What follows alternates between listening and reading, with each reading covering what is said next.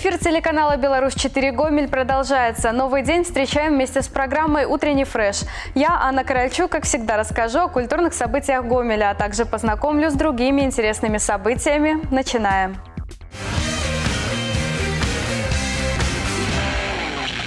Сегодня на территории Гомельской области будет переменная облачность, осадков не прогнозируется. Днем воздух прогреется до 13 градусов тепла, ветер западного направления скоростью до 8 метров в секунду с порывами до 12.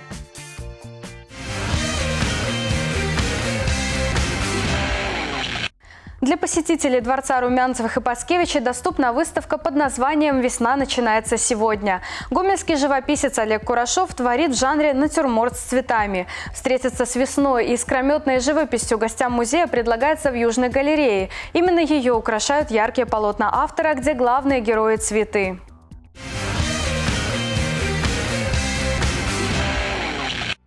Гомельские городские оркестры представят новый проект. Концерт «Симфосакс» состоится сегодня в колледже искусств имени Соколовского. Он будет сочетать в себе самые разные стилевые направления от классики до джаза. Солист премьерного концерта – музыкант, играющий на всех разновидностях саксофона Виталий Ямутеев. Много лет он входил в состав лучшего отечественного джазового коллектива Apple T. Не пропустите!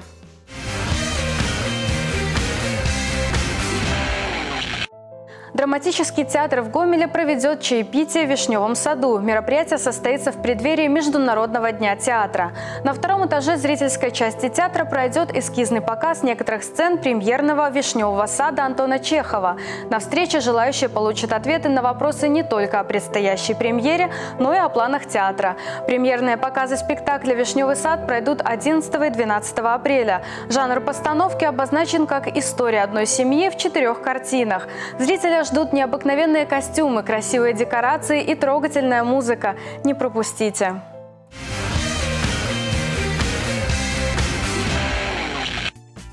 Артисты Гомельской областной филармонии приглашают на весенний музыкальный вечер вдохновения. 26 марта гомельчане смогут проникнуться атмосферой весенней лирики, насладиться живым звуком и теплым общением. В концерте примут участие народная артистка Беларуси Галина Павлинок и дуэт «Акцент». В программе собраны музыкальные произведения самых разных жанров, а обогатит картину вечера игра на разных музыкальных инструментах – саксофоне, армянском дудуке и синтезаторе. Так что не упустите возможность настроиться на позитивную весеннюю музыкальную волну. Место встречи – Дворец культуры железнодорожников.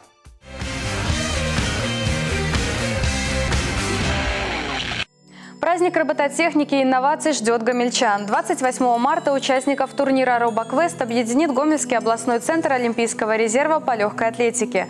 Здесь можно будет создать своего первого робота, окунуться в мир виртуальной реальности и даже овладеть силой мысли. В программе работа интерактивных площадок, выставки и стенды, а также соревнования в разных дисциплинах. Первые 500 посетителей турнира получат подарок. Турнир будет проходить с 10.00 до 15.00 по адресу улица Юбилейная, 50 62. Вход свободный.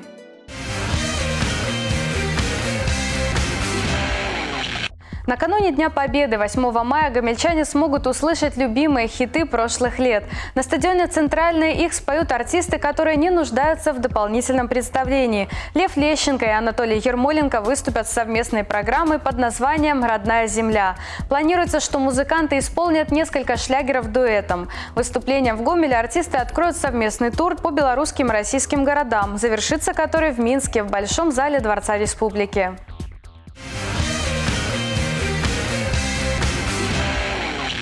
В Гомельской области введен запрет на лов рыбы. Мера принята раньше времени в связи с аномально теплой погодой и ранним нерестом. Во время нерестового запрета ограничено любительское рыболовство. Рыбачить можно только одной удочкой или одним спиннингом в светлое время суток без захода в воду. Нарушение условий влечет наложение штрафа, так что будьте внимательны.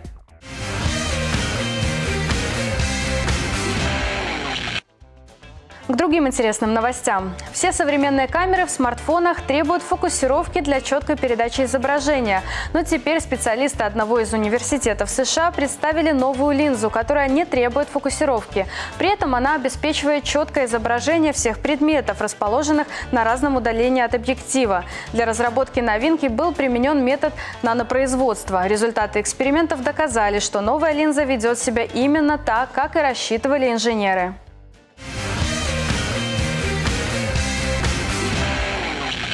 США сотрудница комиссионного магазина обнаружила среди поступившего товара картину Сальвадора Дали.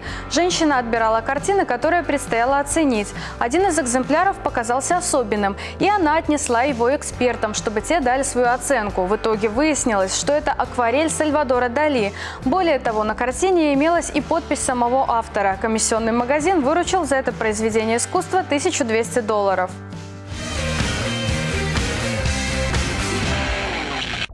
Одна из американских компаний трудится над разработкой аэротакси, которое сможет перевозить пассажиров между городами. Его создают по схеме конвертоплана с поворотным крылом, на концах которого разместят воздушные винты, а в хвостовой части будет вентилятор. Аэротакси сможет перевозить грузы массой более 900 килограммов, развивая скорость до 650 км в час на высоте до 6 километров. Компания уже приступила к испытаниям уменьшенных прототипов аэротакси.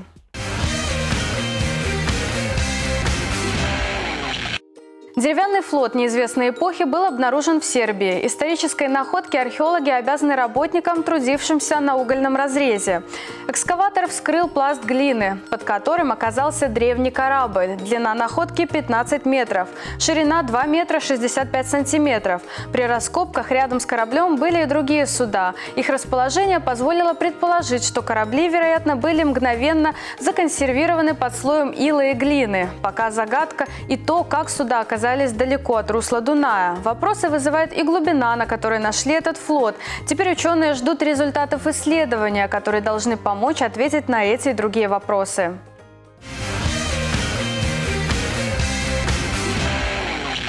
В Японии создали твердый майонез. По своей форме он напоминает ломтики сыра для сэндвичей. Новый формат делает продукт питания практичнее. Больше не нужно бояться, что майонез вытечет из упаковки, бутылки или самого бутерброда. При необходимости в любой момент соус можно сделать жидким. Для этого нужно просто разогреть ломтик в микроволновой печи.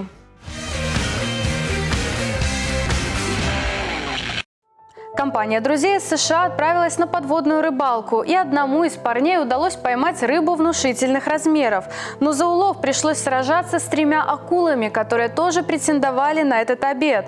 Когда рыбак начал поднимать рыбу на поверхность, за уловом приплыли три рифовые акулы. Они кружили вокруг добычи и несколько раз даже укусили ее. Несмотря на атаку хищниц, парень все-таки смог отстоять свой улов.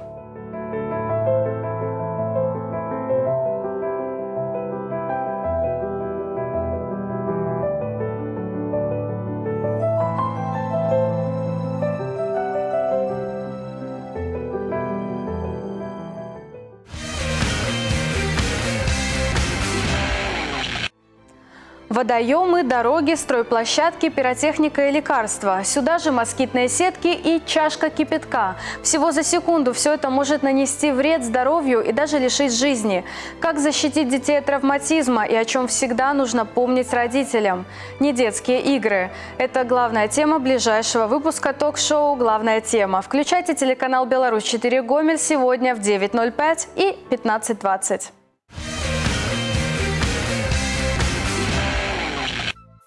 Как всегда по вечерам в нашем эфире программа «Добрый вечер, Гомель». Это рассказ о ярких событиях из жизни Гомеля и Гомельской области. Разговор на актуальные темы с интересными гостями в студии. Сегодня вечером смотрите новый выпуск. Включайте телеканал «Беларусь-4» в 2025.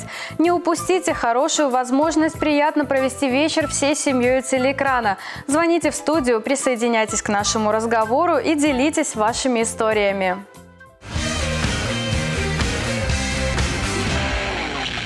Новый день с вами встречали утренний фреш и я, Анна Корольчук. Желаю улыбок окружающих и отличного настроения на весь этот день.